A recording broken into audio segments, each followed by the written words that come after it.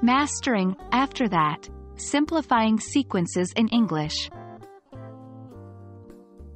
Hello language learners. Welcome back to another exciting English language lesson. Today, we are diving into the world of sequential words, focusing on the term, after that. This particular phrase can be a powerful tool in your language arsenal, helping you give clearer, more logical instructions, tell stories, and even describe complex processes.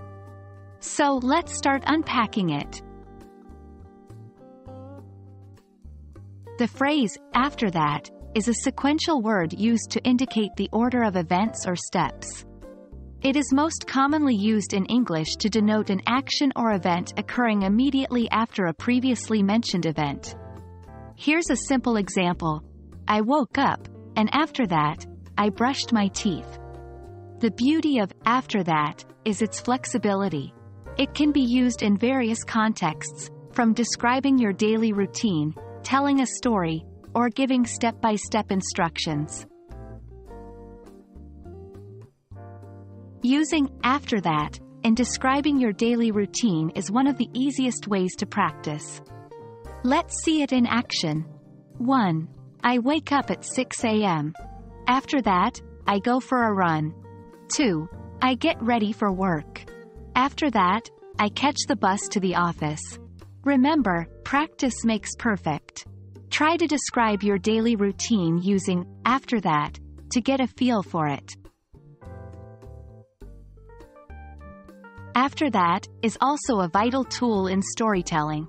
It helps create a sequence of events that can build suspense and engage your listeners. Here's an example. Once upon a time, there was a brave knight. He fought a mighty dragon and won. After that, he found a hidden treasure. See how, after that, helps to sequence the events in the story. Try creating your own story using after that. When giving instructions or explaining a process, after that, helps clarify the sequence of actions. It's like a roadmap guiding your listener step by step.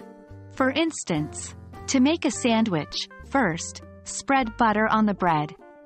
After that, add your preferred fillings. After that, put another slice of bread on top. Feel free to practice giving instructions for simple tasks using after that. That brings us to the end of our lesson on after that. Remember, it's all about sequencing events or actions. With regular practice in your daily conversations, storytelling, or while giving instructions, you'll be a pro at using after that in no time. Thank you for joining us today. Keep practicing, stay curious, and continue expanding your English vocabulary and language skills. Until next time, happy learning!